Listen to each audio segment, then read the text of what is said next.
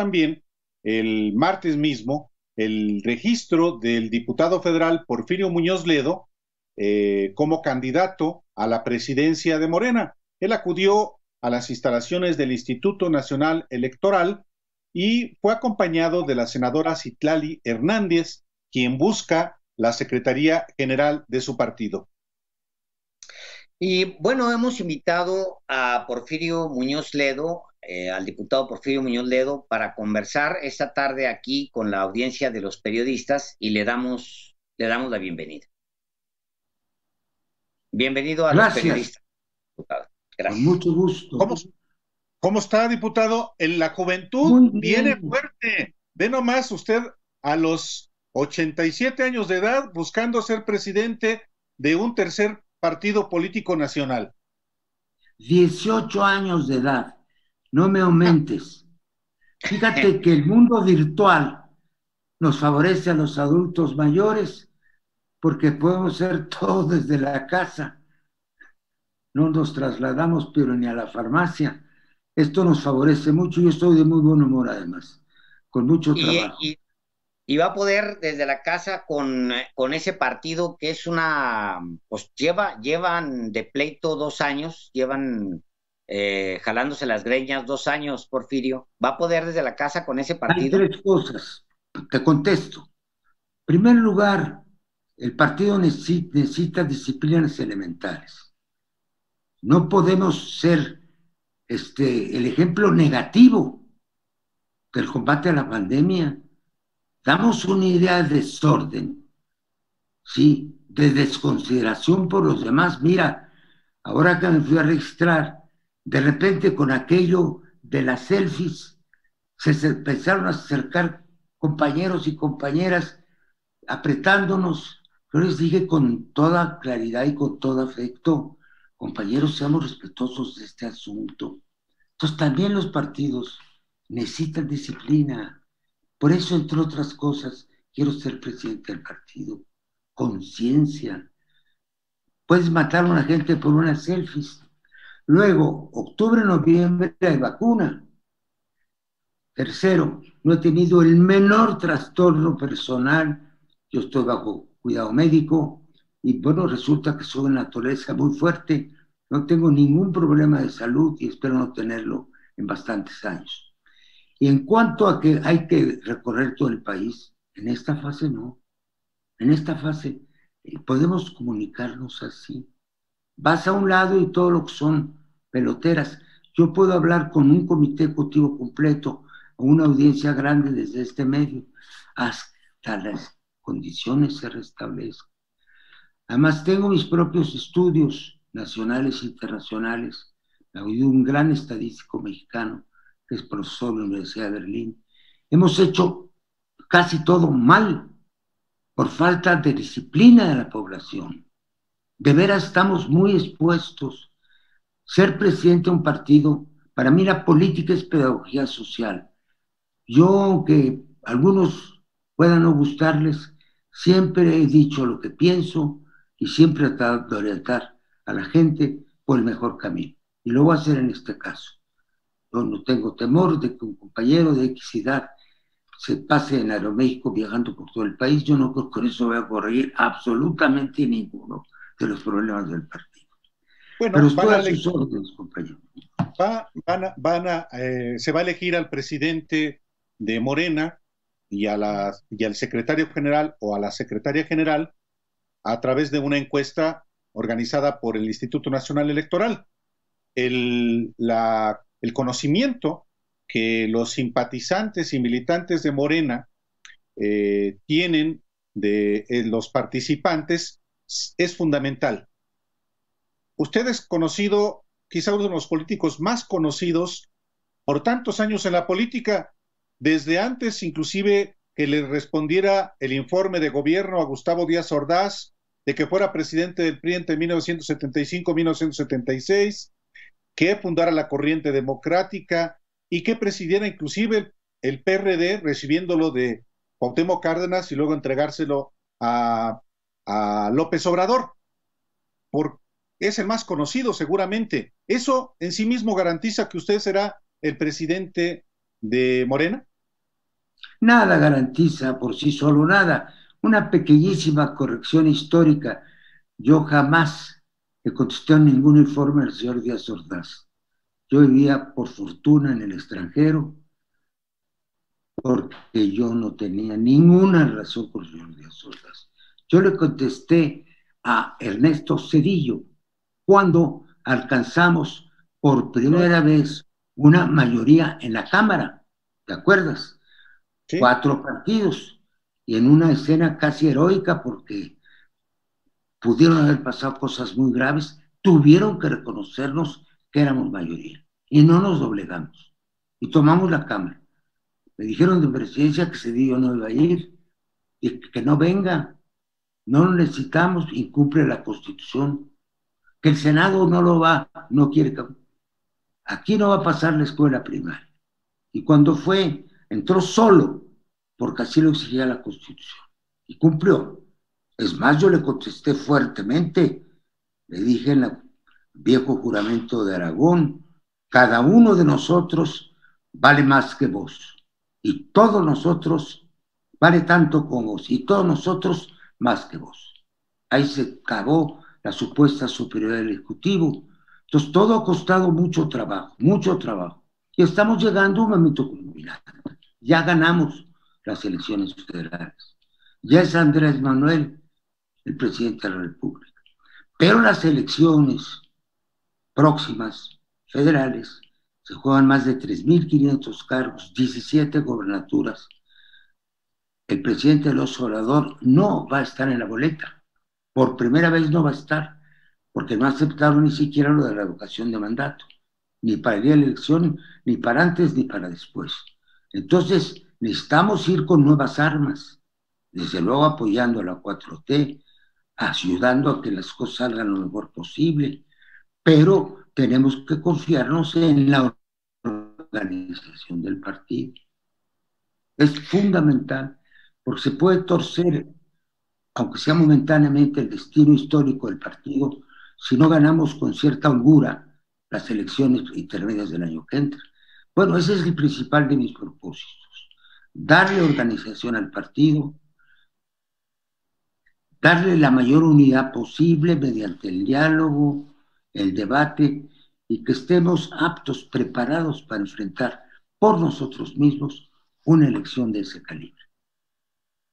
Diputado, em, el discurso claramente y la intención del presidente eh, López Obrador va en el sentido del combate a la corrupción. Y cosas puntuales, muy, muy, eh, muy puntuales. Alfonso Ramírez Cuellar eh, demandó, denunció a Jacob Polewski por 400 millones que andan extraviados. Imagínense un partido que no cumple los, digo, es no es ni, ni siquiera adolescente, es un niño y ya trae 400 millones perdidos de supuestamente eh, de Jacob Polewski. ¿Usted qué piensa? ¿Le va a dar curso a, esa denuncia? ¿Hay mejor que quede? ¿Qué es lo que piensa de Jacob? No, bueno, yo pienso como el presidente que toda denuncia por corrupción pues debe ser investigada. Si no, ¿cómo vamos a pedir la investigación de Carlos Salinas? ¿sí? O de, ¿cómo se llama? Peña.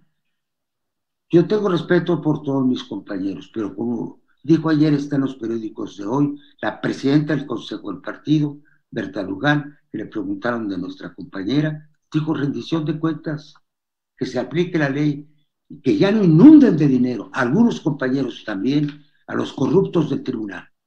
Lo que ha hecho el tribunal sobre estas elecciones es una barbaridad. Ha violentado los estatutos del partido, impuesto un sistema de elección que no es el que tenemos aprobado, metiéndose indebidamente en la vida interna de los partidos. Entonces, a cada quien lo que es, vamos a vivir un mundo más estricto. En las batallas políticas muchas veces hay un exceso de tolerancia. Toda la gente empieza a confundirse entre la ideología, la corrupción, para unos la anticorrupción, para otros no, caudillismos en el partido, compra de votos. Bueno, ha corrido mucho dinero en el partido. También el partido tiene caudillos, también los tiene. Entonces, los partidos grandes, sobre todo, y plurales, pues sabemos de todo. Los que venimos de la universidad y de la diplomacia y de la lucha histórica por la democracia, otros que vienen de casicazgos, otros que vienen de negocios privados. Ya lo dije, lo ha dicho siempre Andrés, cuando la ola es muy grande también arrastra mucha basura. Entonces, por eso una de las principales obligaciones del partido es su depuración. No estoy hablando de purga, ¿sí? estoy hablando de depuración. Que haya justicia interna también, que pueda tomar partido, pueda tomar jurisdicción la Comisión de de Justicia, si no queremos llevarlo a otro lado. Pero nosotros tenemos que ser, en lo más posible, ejemplo de rectitud y de honestidad. Y es uno de los primeros fines que me propongo. Eh, Porfirio eh, Muñoz Ledo, eh, actual diputado federal, expresidente de la mesa directiva de la Cámara de Diputados. Pues sí, así como le respondió el informe de Ernesto Cedillo en 1997, cuando el PRI pierde por primera vez en la historia la mayoría en la Cámara de Diputados, ahora le ciñó la banda presidencial al presidente López Obrador. Usted, usted apoyaba, usted hizo público su apoyo a Berta Luján y ahora que ella desistió de ser candidata, usted eh, es candidato, presentado, por cierto, el domingo en una sesión del Comité Ejecutivo Nacional y que por lo tanto también se le identifica a usted como el candidato de la burocracia o por lo menos una parte de la burocracia de Morena. Usted sabe quién lo dice, se lo dice, por ejemplo, Gibran Ramírez. Este muchacho parece que es buena persona, ¿eh? no lo conozco. Dicen que lo he menospreciado, no es cierto. Lo he leído. Bueno, porque también se puede hacer política con el hígado. Berta es la presidenta del, del, de la, del, del Consejo, de la Comisión de, de, Morena ella pues, tiene todo el derecho de lanzarse. Estuvieron, digamos, midiendo las cosas. Y un grupo todavía mucho más grande decidió invitar.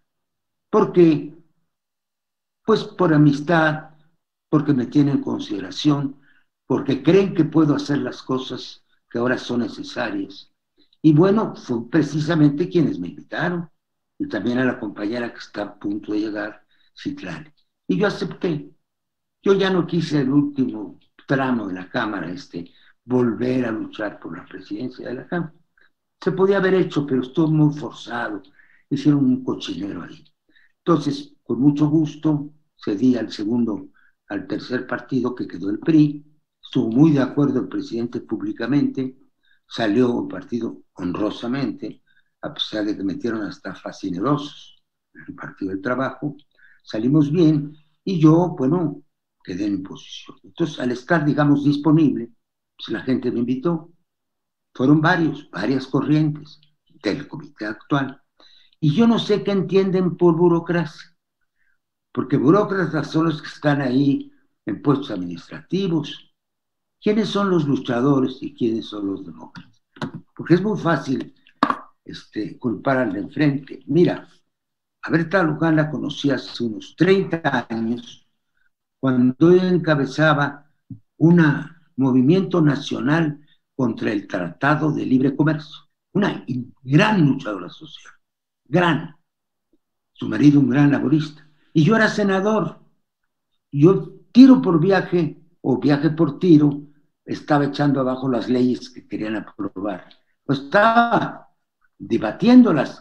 Creo que gané todos los debates, pero no gané ninguna votación. Vamos, éramos dos. Entonces ahí nos conocimos muchísimo. Ella viene de la base social, de ninguna burocracia. Yo vengo de la lucha de toda la vida. Entonces, en un partido como Morena hay poca burocracia partidaria, por fortuna, nada más los empleados. Yo creo al contrario, fíjate que necesita cuadros más profesionales. El partido no está cumpliendo algunas de las funciones esenciales de los partidos políticos.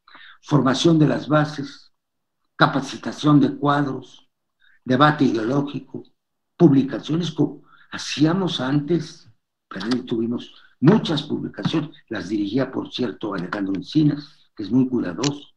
Teníamos contacto con la sociedad civil.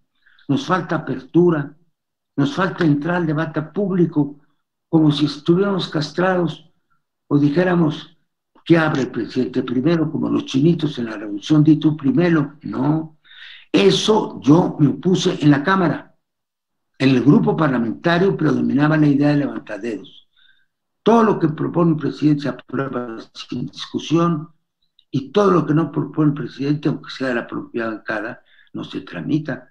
Yo fui un, y he sido hasta ahora un diputado rebelde. Hasta decían que era yo el jefe de la oposición. ¿Te acuerdas? Me opuse a cosas nefastas, aunque las hubiera hecho una parte del gobierno. Por ejemplo, el tema de la, migración, una pelea nacional e internacional.